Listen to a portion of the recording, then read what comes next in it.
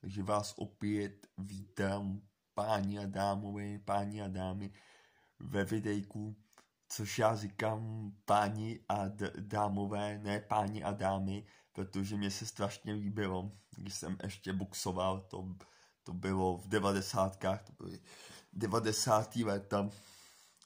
plnovedí se v devadesátkách v, jistých věcech dá orientovali, tak se jim ta doba odstupem času dneska zdá, že se v tom nevyznali, že byla zvrácená. Mně naopak, mně se ta doba strašně líbila, protože šli dělat věci, když jste po nich byli poučený, který dneska, který dneska jen tak nejdou. Jo, to bylo jednoduché jak lusknutím prstu. A to všechno, všechno, business, sport, eh, všechno prostě eh, podnikání, eh, studium, všechno, všechno šlo líp a všechno šlo, bylo to lepší, jo, stačilo mít, od, stačilo mít jenom prachy a vlastně byli jste ve všem dobří, ale to je jedno.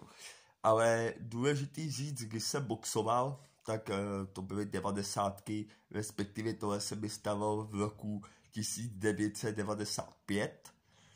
Eh, kdy jsem byl vlastně na mistrovství Evropy eh,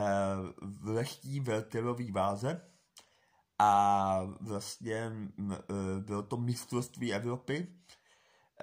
A jsme tam jako byli, že jo, 20 lidí z našeho boxklubu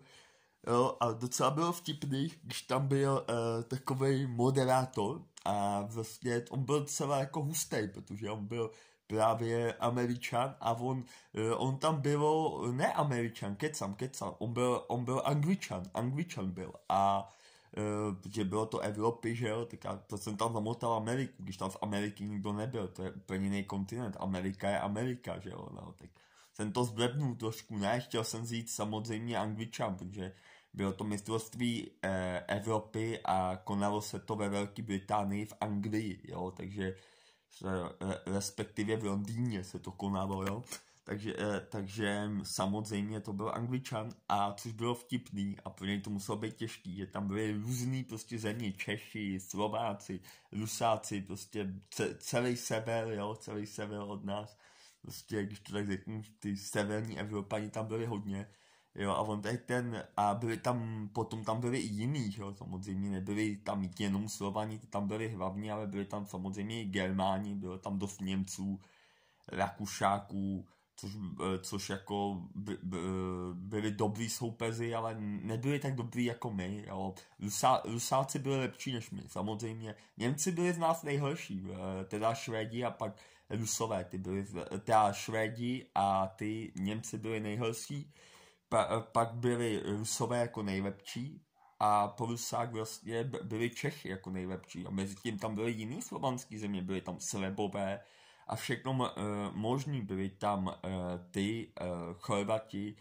jo, bylo tam prostě, bylo tam toho hodně, jo, Ukrajinci, všechno, ale tady ty národy byly zase lepší než my. My jsme byli druhý, jo, což bylo takové, ale uh, ale důležitý říct, co, co mě jako pobavilo, protože on to tam musel uvádět, ten angličan, co si fakt musel hrábnout, jo. On, si, on to musel překládat do každého toho jazyku, ka, každých těch účastníků um, uh, lik, který jsme tam byli, takže musel česky, rusky, srbsky, polsky uh, uh, a všelijak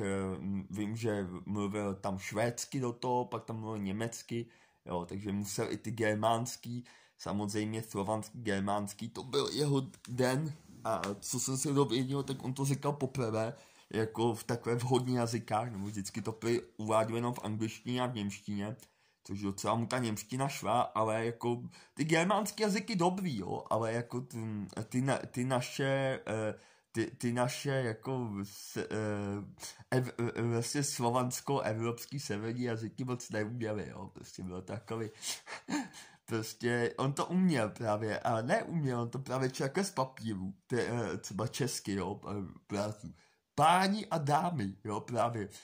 páni a dámové, teda páni a dámové, proto říkám páni a dámové, protože mi to strašně zalíbilo, samozřejmě je páni a dámy, ale on říkal páni a dámové, jo, co mě se samozřejmě líbilo, a rusky to taky řekl blbě, jo, tam, tam taky zkomolil a svebsky to řekl úplně na piču tomu, já svebsky trochu rozumím, ale tady to tomu nerozuměl asi rodilý sveb